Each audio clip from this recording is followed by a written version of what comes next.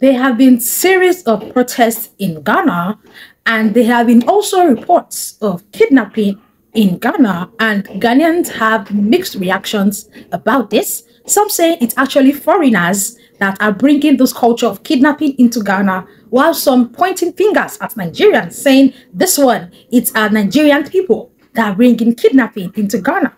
And also, we're talking about Ghanaians denying Bra Kofi, saying they never accepted him in their country, that he is a Nigerian, and that he's just doing Ghanaian content to get popularity and views. If you're a Ghanaian watching this video, what is going on?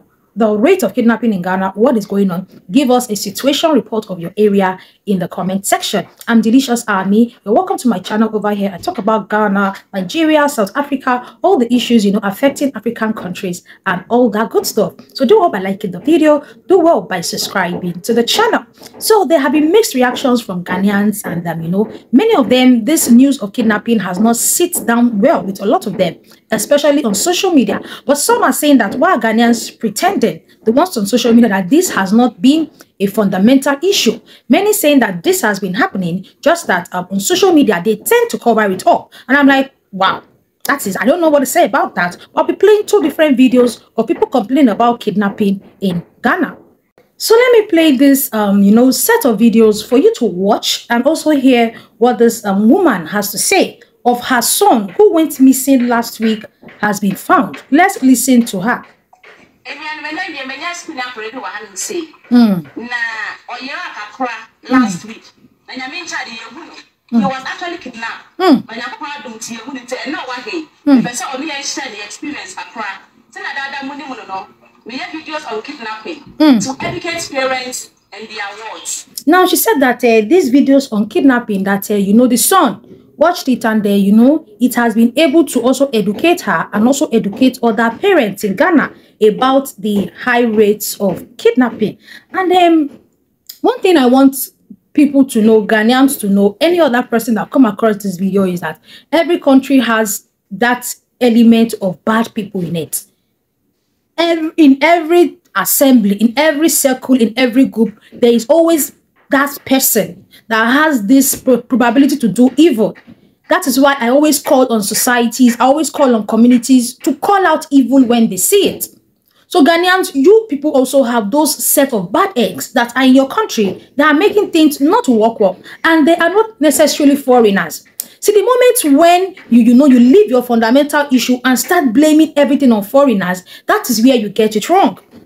The moment you take self-accountability and say, okay, I think it's some of our boys that are just doing this to make money, then you can tackle the root issue.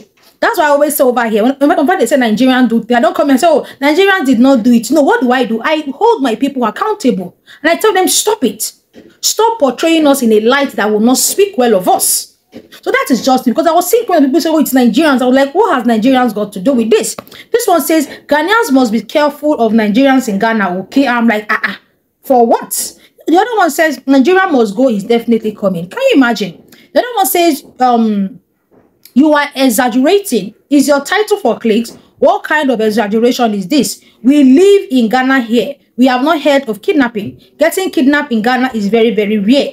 And that and if that happens, it becomes a national problem because it hardly happens. So now it is happening. I hope the Ghanaian make it a national problem and bring all the culprits to books. This one says, um, if you if you know what you're saying is true, then you shouldn't then it should have been in the newspapers, phonics, TV, and even radio. But I'll be playing a video of a man who granted an interview in a radio station who said he's a radio presenter, sorry, a TV presenter, saying his experience and how he was almost kidnapped said, yes, getting to the elections, you have to be extremely careful. But saying high rate of kidnapping in Ghana is absurd. If Ghana has high rate of kidnapping, what will you name Nigeria on? This is the problem. Instead of you to face the fundamental issue your country is having, you are comparing it to Nigeria. That's why I always say we will never get it right until we treat ourselves as a separate entity, tackle our problems, and stop looking for who to put those blames on. This one said, um, there's a, there's a higher rate of kidnapping in Nigeria. Let's be realistic. I'm like, what has Nigeria got to do with what is happening in Ghana? This one says, um, please, you are misleading the public. The high rate of kidnapping in Ghana is by Nigerians, and it is high. but not what you put in. Nigerians are the one bringing the high rate of kidnapping to Ghana. We are not kidnappers in this country. Please, we don't we don't kidnap human. It is your citizens that tag our name to the wrongdoings. Nigerians are doing it's a citizen that tag um our names to the wrongdoings Nigerians are doing in Ghana. This one said, Madam, it is your own people. And I'm like, what, what, what is this? If there's a fundamental problem, address it. If there's a problem in your country, address it. Don't look for who to put blames on. You might not like what I'm saying, but I'm telling you the truth. The government of Ghana should do their investigations. You will never see us Nigerians come and say, oh, it is the Ghanaians in Nigeria that are causing this, that are causing that, or the other nationals in Nigeria that the ones causing this or causing that. We tackle it. We tell ourselves the truth. Our people, we know they try. You understand? That way, when we tackle it and say the very hard truth, we cannot bring in solutions. Please feel free to drop your own opinions in the comment section. Let's listen to uh, this man that calls himself a radio presenter and hear what he has to say about his, uh, you know, kidnapping experience in Ghana. I left home and was heading towards Atomic Junction. Okay. He came behind me. So he came behind me. Mm. Was like, "Do you sat at the back?" Mm. In fact, I sat in front because the other guy was sitting at the back. Okay. They took me to Jolu. Wow.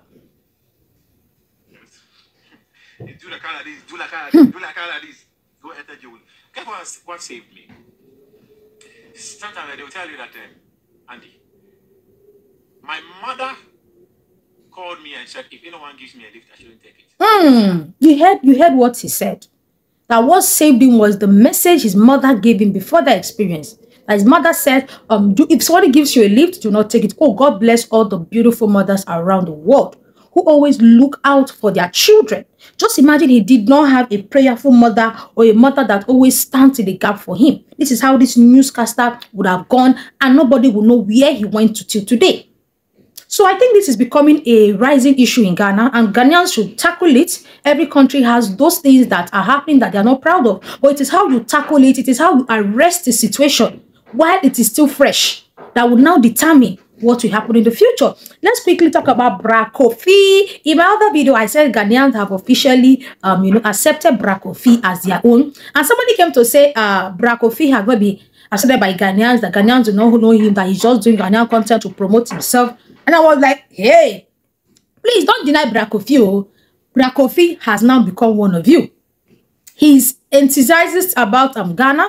He talks good about Ghana. He brings Ghana's culture, Ghana's tradition in a good way. Please do not come and say, oh, Bra Kofi is not one of you. Because even here in Nigeria, he's having issues with Nigerians because of his Ghanaian content. Now imagine when Ghanaians now say, oh, you're not part of us. How do you want him to feel? He will now be stuck. No nationality. Please, let's not do that to Bra Kofi. Bra Kofi so far has been giving us good Ghana content, putting Ghana in the right light. Just accept him. Because Ghanaians that I know are people that are, you know, they are, they are, they are set people.